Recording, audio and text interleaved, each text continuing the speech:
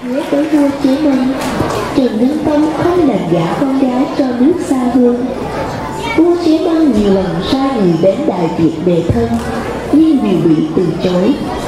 Năm 1306 vua chế minh nhân hai tỉnh, châu ô và châu lý làm hội môn, đổi lấy công chúa. Vì thế, vua trần anh tông, anh của huyền trân, cuối cùng đồng ý gả công chúa.